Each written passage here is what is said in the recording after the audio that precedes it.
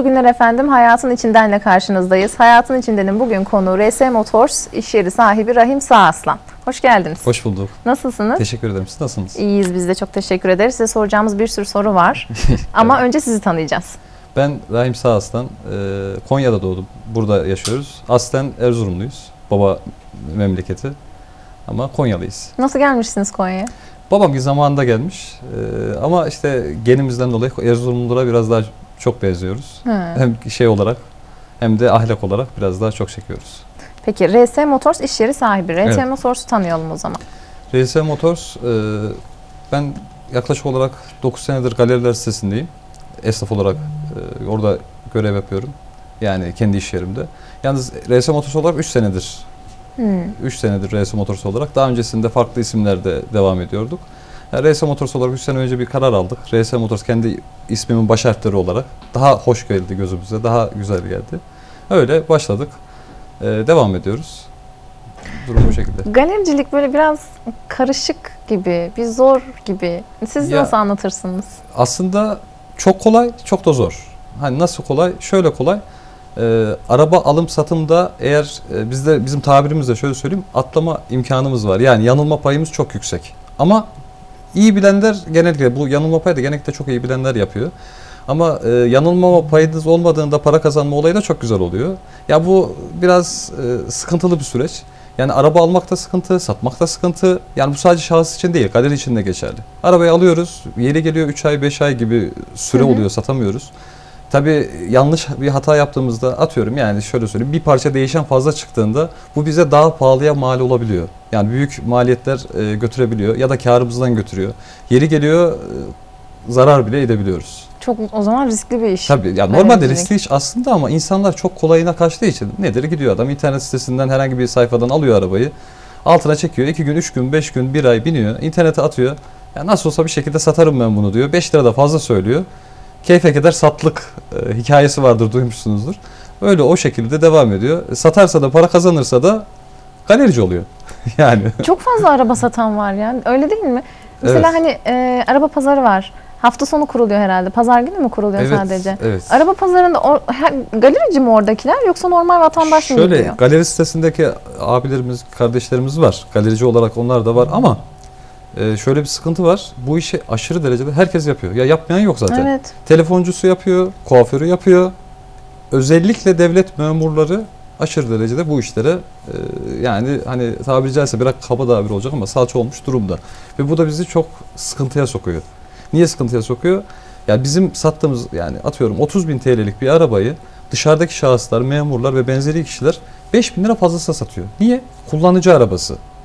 Daha sonra bu Sahibi. vatandaş da bindiği arabayı galeriye getirdiğinde bizden şunu bekliyor. Yani 35 bin liraya saymamızı bekliyor ya da 36'ya saymamızı bekliyor. E biz burada o fiyat aralığında çelişki ve sıkıntı yaşıyoruz.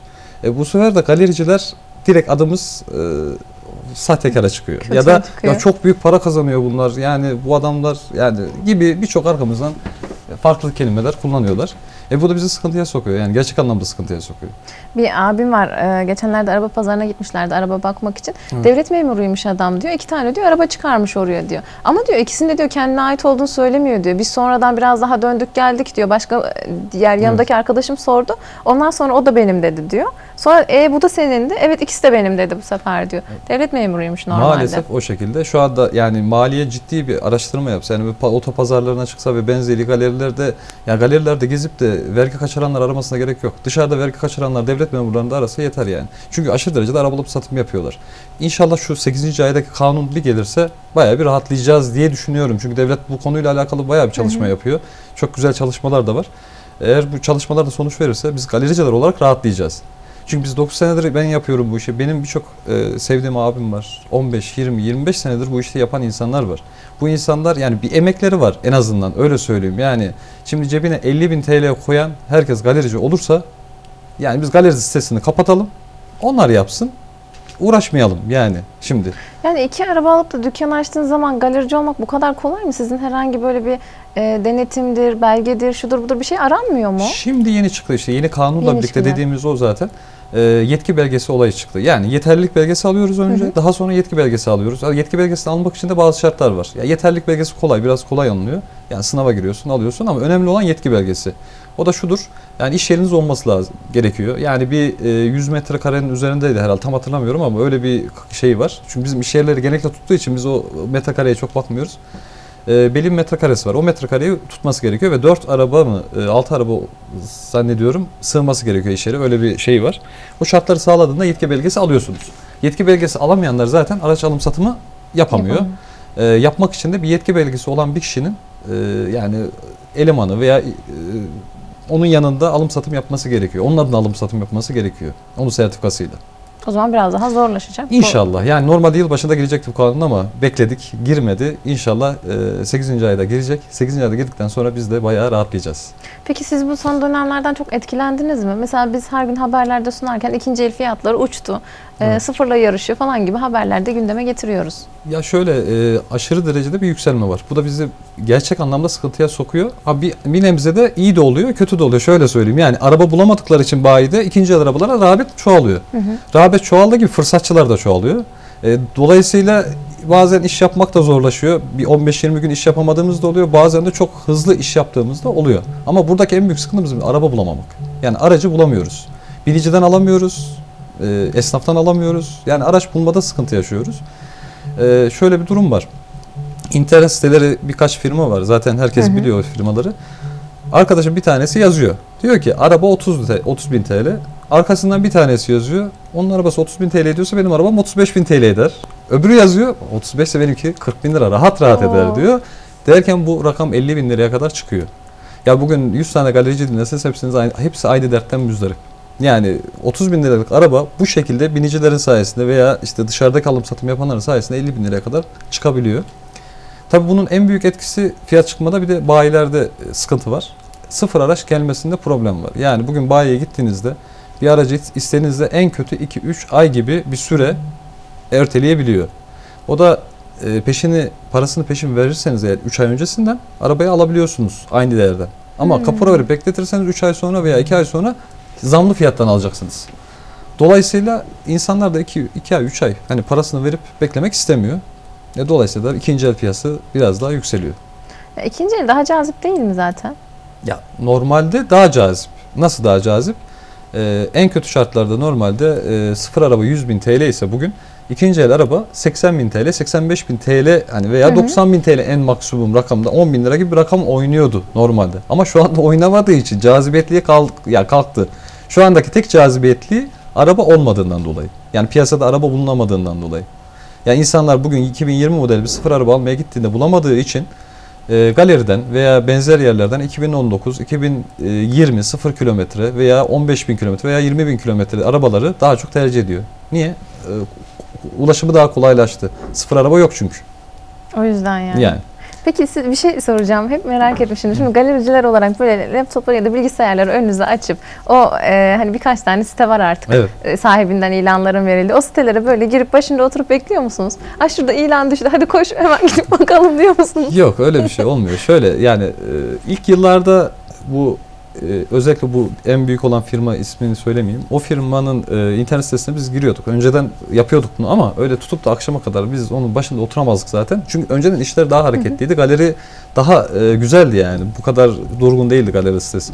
Ama şu anda bizim yaptığımız olay şu var. E, artık internet sitesinden baktığımız arabaları yani gittiğimizde yerinde bulamıyoruz ya alamıyoruz. Ya da enkaz oluyor. Gibi yani bazı durumlar oluyor. Onun için atıyorum İstanbul'a gidiyoruz mesela araç almaya. Hani birçok seçeneği değerlendiriyoruz artık yani internet sitesini değerlendiriyoruz. İşte orada eş dost varsa oradan değerlendirme yapıyoruz. Esnaflardan değerlendirme yapıyoruz. Artık biraz daha zorlaştı yani. O Hmm. masa başında oturup araba bulma işi e, yok. Olmuyor artık. Yok olmuyor artık. Peki galericilere olan güven nasıl? Önceden e, %70 kötü anlamda %70'ti. Ama şu anda %50'ye kadar e, biraz daha iyileşme var gibi geliyor bana. Bu benim şahsi fikrim. Yanlış anlaşılması sonra bana kızmasınlar.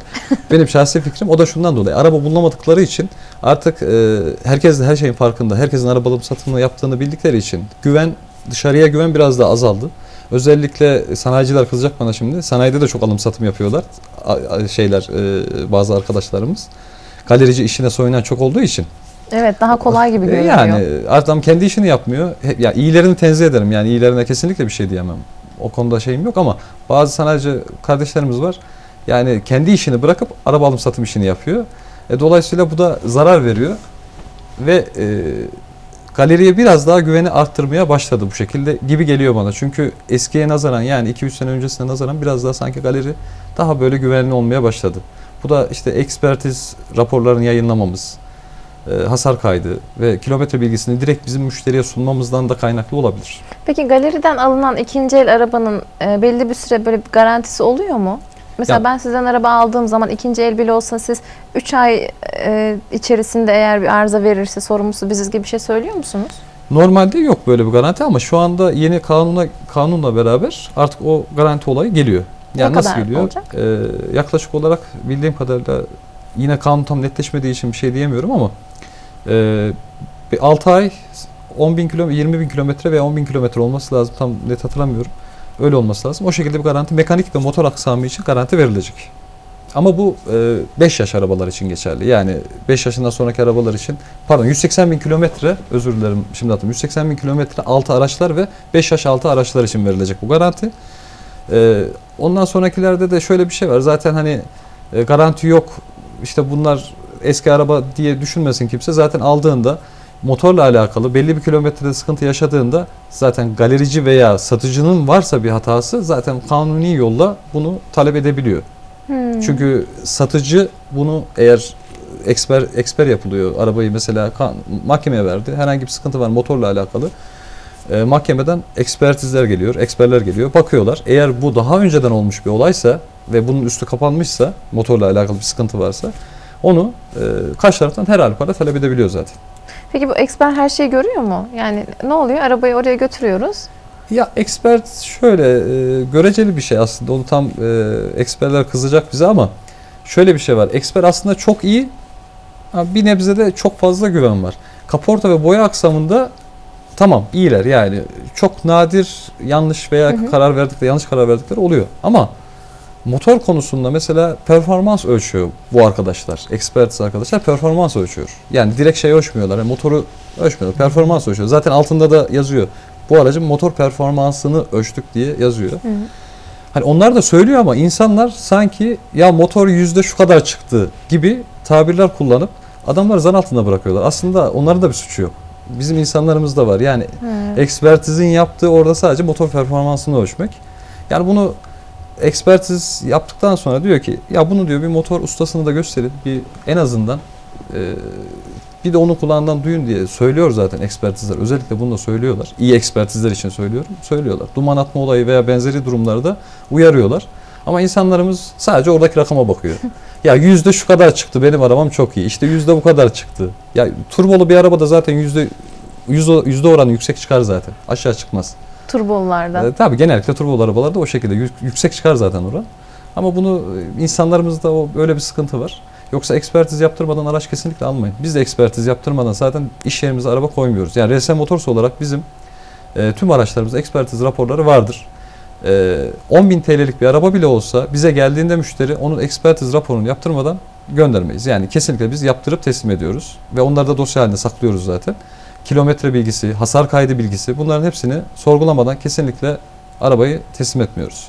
Peki böyle başınıza gelen çok ilginç bir olay oldu mu? Mesela bazen sıfır araba alıyorlar. Evet. Birazcık gidiyorlar. Kırmızı ışık denk geliyor. Kırmızı ışıkta dururken araba birden arıza veriyor. böyle birkaç- olaylar oldu mu? Yaşadınız mı? Ben yaşamadım da birkaç arkadaşımın başına geldi. Mahkemelik oldular. Ee, ünlü bir firmayla.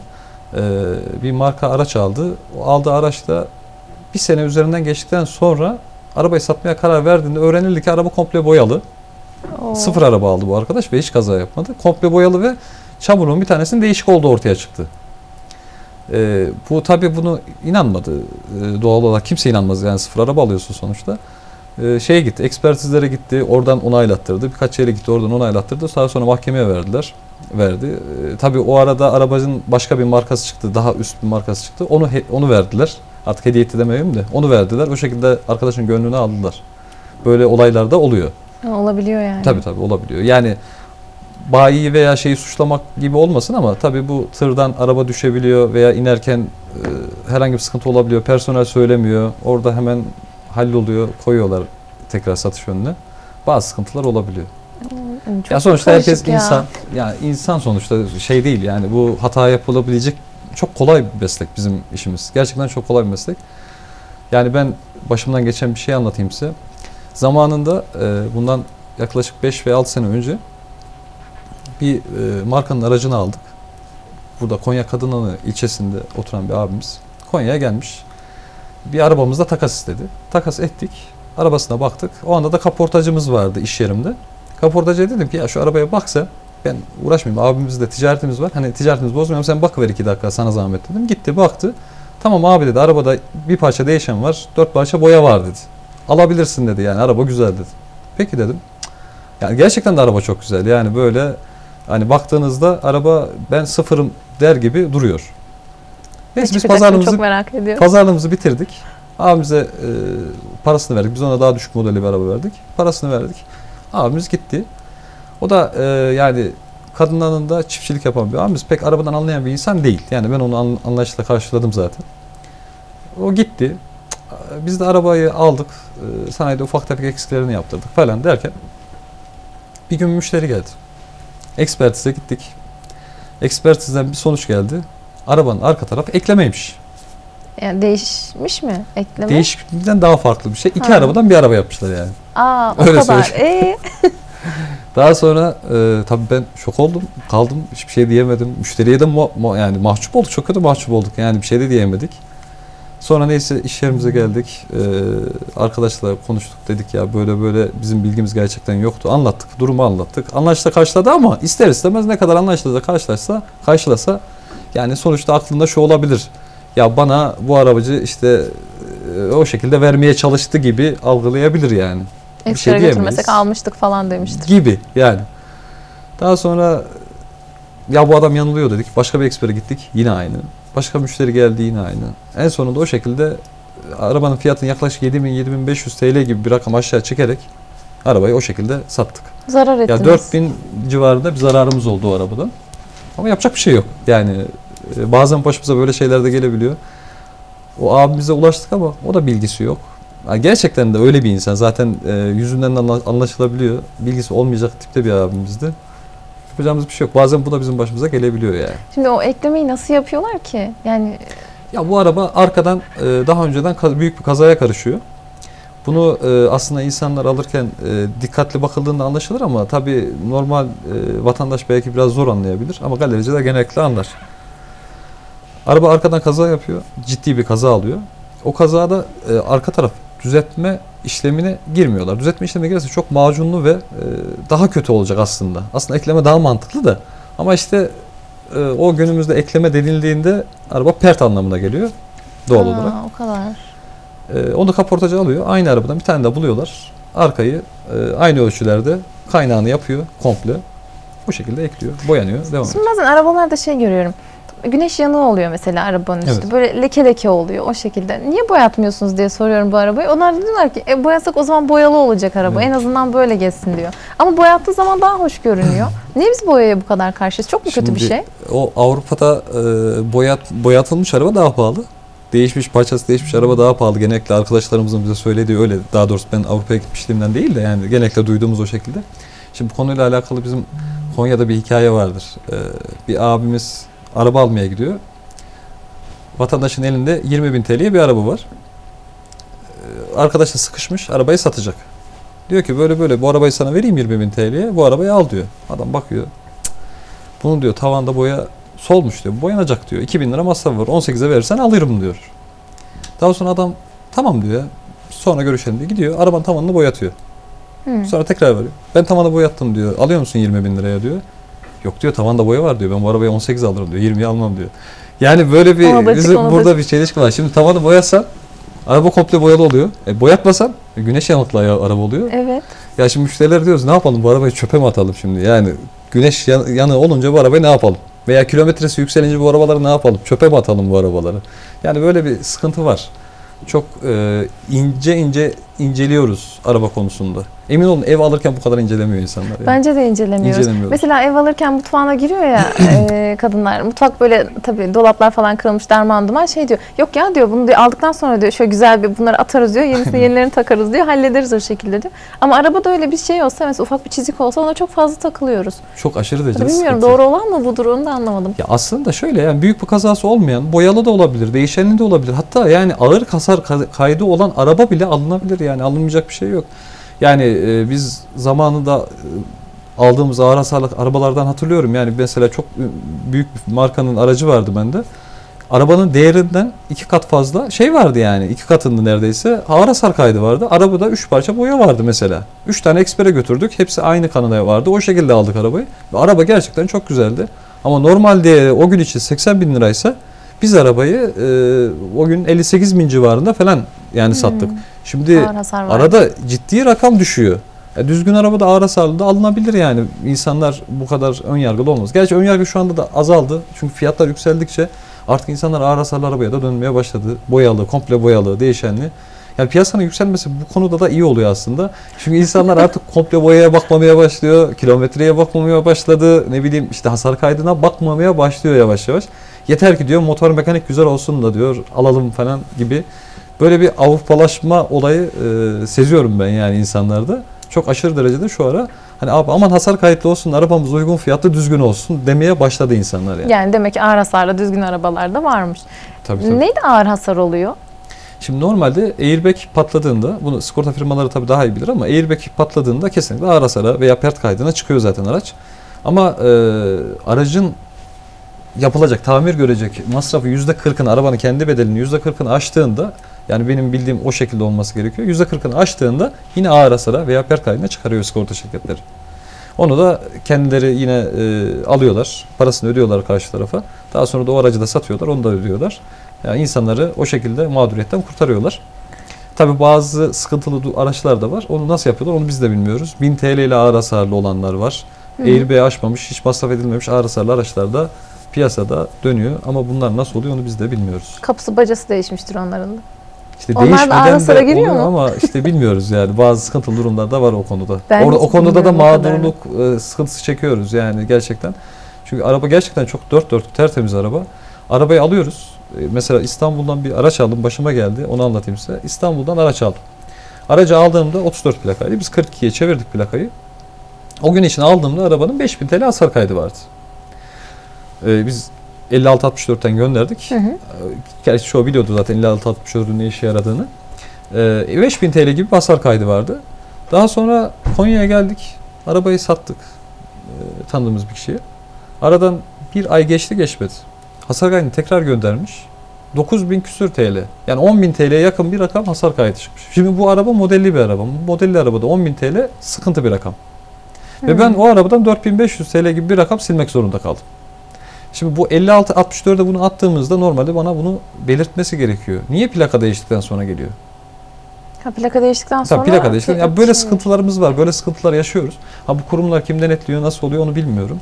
Ama bu ciddi bir sorun. Yani bizim gibi insanlar için, galericiler için ciddi bir sorun. Normal şahıslar çok hani umursamayabilir. Niye? Alım satım yapmadığı için adam bir sene biner, bir sene sonra arabanın değeri zaten aynı paralara gelir. Hı hı. Hani zarar etmez. Ama bizim için ciddi bir sorun. Biz çünkü gerçekten sermaye bağlıyoruz. Yani gecemizi gündüzümüze katıp İstanbul, Ankara, ne bileyim Antep yani Türkiye'nin birçok yerine gidiyoruz. Yani şu anda e, buraya gelmeden önce de arkadaşlarla konuşuyorduk. Arkadaşım geçen işte 5 il gezmiş yani 5 il. Çoluğundan çocuğundan ayrılıp 5 il geziyor. Yani galericilik çok basit bir meslek değil. Yani bunu e, gerçekten bizim üzerimize fazla bu konuda yüklenmelerini rica ediyorum yani. Bence de yüklenmesinler şu an. Bana da çok zor geldi. Bir reklama gideceğiz. Tabii. Reklamdan sonra devam edelim. Çok kısa bir reklam arasından sonra hayatın içinden devam ediyor olacak. Bizden ayrılmayın.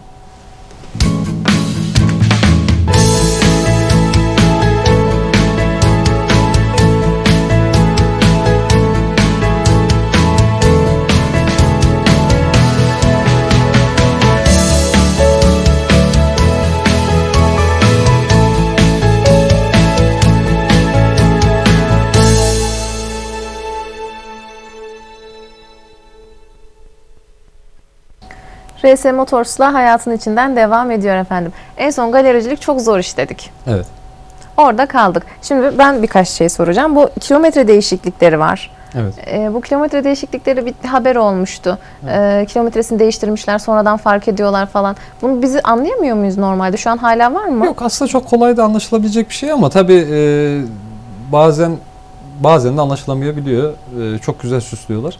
Ya şu anda zaten hala düşürme yapıyorlar. Bazı e, gizli kapaklı el altından yaptıklarını duyuyoruz. Özellikle İstanbul ve Ankara tarafında daha çok duyuyoruz ama tabii ne, ne kadar doğru ne kadar yanlış bilmiyorum ama hala yapılıyor. Ama bu büyük suç, gerçekten ciddi bir Evet. suç şeyi var, e, teşkil ediyor. E, aracın kilometresini düşürdüğünü anlamak aslında şöyle, yani aracı kapısını açtığınızda, direksiyonuna baktığınızda, direksiyonundan veya e, sol koltuğun tam böyle tam sol tarafına baktığınızda oradan veya teybin e, tuşlarından ya bu tür yerlerden anlayabilirsiniz. Nasıl anlayabilirsiniz? Ya çok içi direksiyon yıpranmış bir haldeyse, koltuk yırtılmışsa, ya bu arabaya da eğer 100 bin kilometre diyorsa yani illaki teknik bir sorun yoksa yani ara, araçla alakalı teknik bir sorun yoksa %90 düşürülmüştür.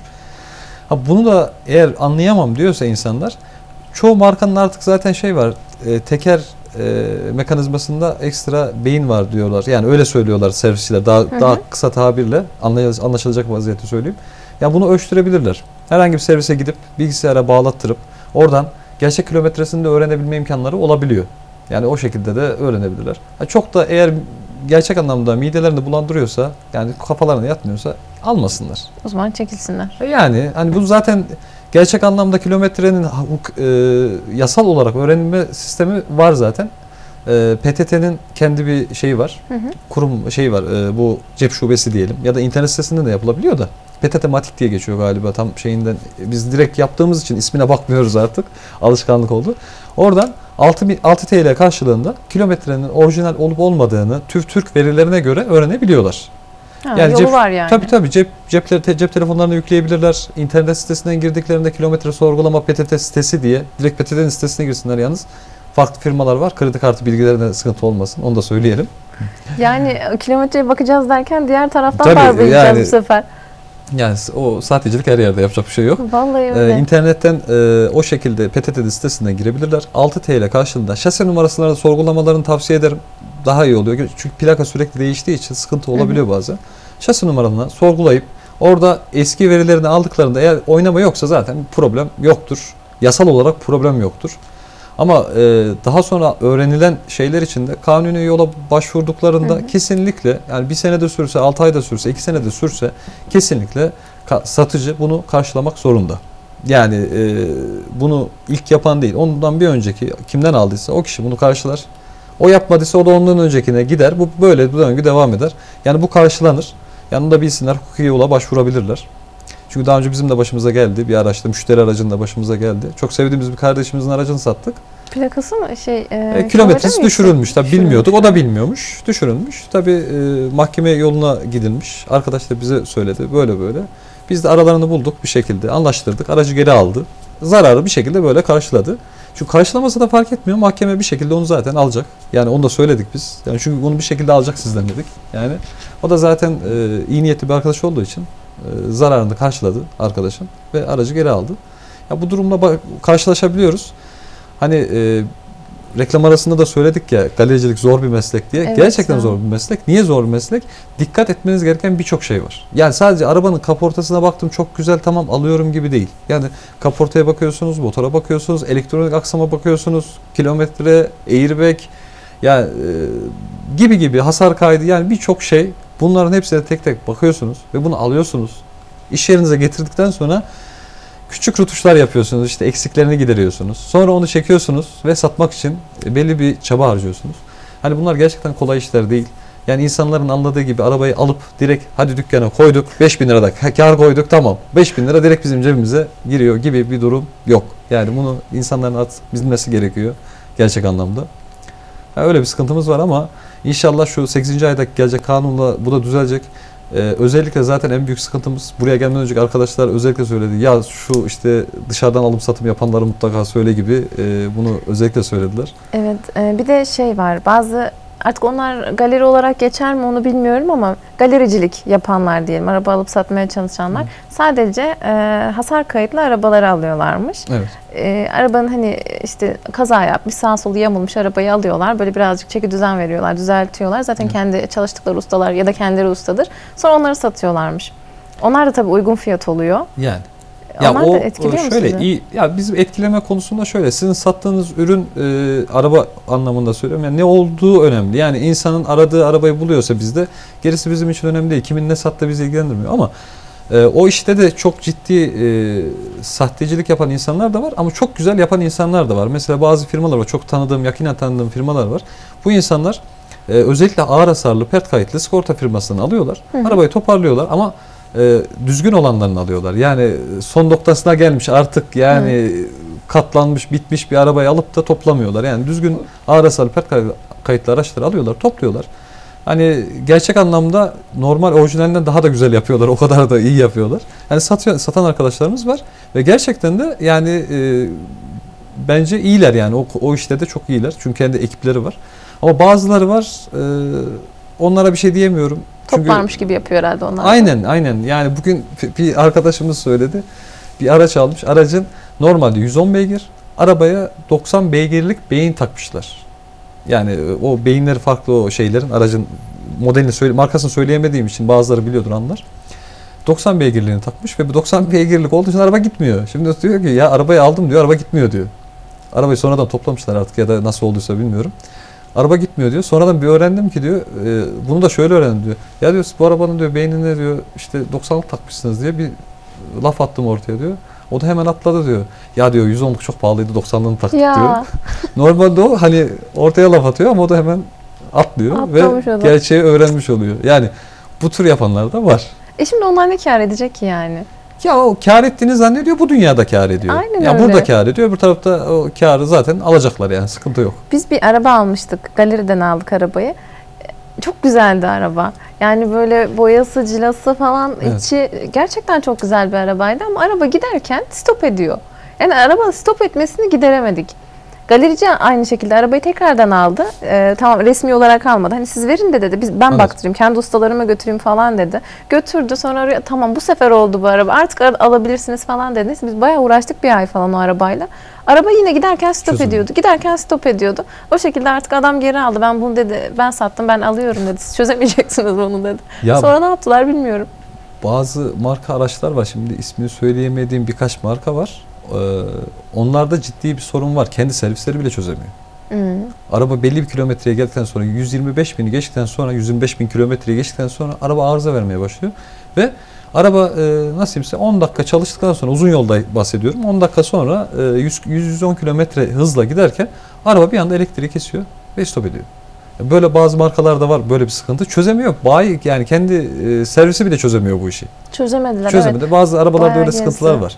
Ya bu zamanında şöyle e, şu anda bazı markalar da aynı şekilde araçlardaki sıkıntıları çözemedikleri sıkıntılı araçları mesela geri çağırıyorlar. Haberlerde ve benzeri Hı hı. işte tele- gazetelerde duymuşsunuzdur. Geri çağırıyorlar. O zaman götürmüyorlar bu arkadaşlar, alan arkadaşlar ve o da doğal olarak daha sonrasında başkalarına sıkıntı veriyor. Aynen öyle. Bakalım nasıl sattılar o adamlar sonra Yani ya da işte- yaptırabildiler mi? O da çok önemli. Belki komple motorunu değiştirmişlerdir, yeni nesil motor takmış olabilirler gibi bir çözüm yolu bulmuşlardır. Çünkü galerici onu bir şekilde biraz daha rahat bulur. Hani motor aksamını siz hani ona uğraş, uğraşamazsınız ama o biraz daha rahat olur. Daha rahat bulur. O konuda halletmiş olabilir belki. Ne kadar çok arıza var, ne kadar çok böyle detay varmış arabalarla alakalı. Mesela hani yüksek kilometre, yüksek kilometre diyoruz ya bu kilometre kaçtan sonra yükseğe giriyor? Ya şimdi o bakış açısına göre değişiyor. Kimine göre 150 bini geçti mi araba e, pert. Yani Pert. çöp yani. Kimine göre 200-250 bine kadar sıkıntı yok. Ama genel olarak şöyle bir durum var. Dizel araçlarda 200 bin kilometre geçtikten sonra insanlarda bir korku var. Hı hı. Yani haklı olarak var. O da niye var? Şundan dolayı düşünüyorum ben. İnsanlar dizel arabayı aldığında masraf etmeyi akıllarından çıkarıyorlar. Diyor ki yani ben giderim servise e, sadece bakımını yaptırırım.